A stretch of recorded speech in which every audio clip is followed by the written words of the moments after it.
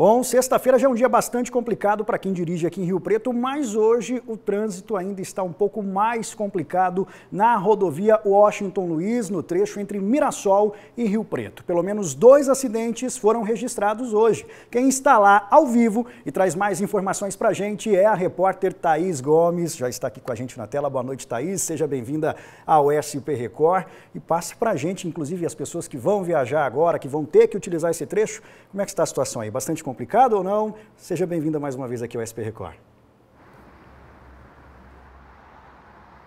Oi, Kleber. Boa noite para você, boa noite para todo mundo. Estamos bem no meio desse trecho entre Rio Preto e Mirassol e realmente, como de costume, é um, há um trânsito né, bem conturbado, bastante congestionamento. Edmilson China vai mostrar para a gente como está, como está nesse momento já, até para trazer informações, como você bem destacou, para quem vai viajar, para quem passa pela Washington Luiz tem esse congestionamento mais cedo, como você destacou, por volta das duas da tarde. Nesse mesmo sentido, um acidente entre dois carros fez o trânsito parar no sentido Rio Preto a Mirassol. Felizmente, as vítimas tiveram ferimentos leves, mas foram encaminhadas para o HB de Rio Preto. E agora há pouco, no fim da tarde, foi registrado um outro acidente, só que no outro sentido, Mirassol Rio Preto. Um carro capotou e as causas ainda serão apuradas. A gente vê imagens que foram encaminhadas para nossa produção que mostram o momento do resgate das vítimas. Então, nesse momento, o trânsito está fluindo um pouco mais. Nós chegamos já uns 20 minutos aqui nesse ponto, eu e o Edmilson China.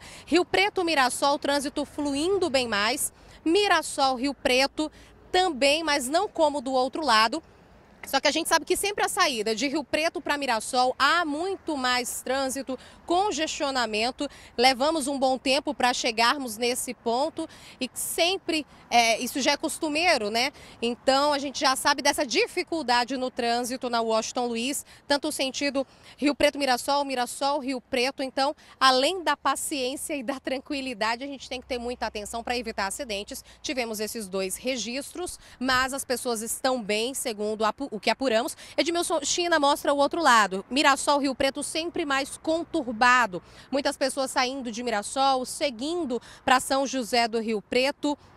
Então isso gera uma maior, um maior movimento também nesse sentido, até porque é, sentido interior, capital também. Então quem já está saindo de casa, pretendendo viajar neste fim de semana, começando já agora na sexta-feira, atenção, cuidado redobrado, porque nesses dois sentidos a gente sempre tem um grande congestionamento, principalmente de veículos maiores, não só os carros e as motocicletas, mas caminhões, que é o que a gente sempre encontra por aqui muita atenção e cuidado, porque a gente sempre registra acidente nesses dois pontos, nesses dois lados.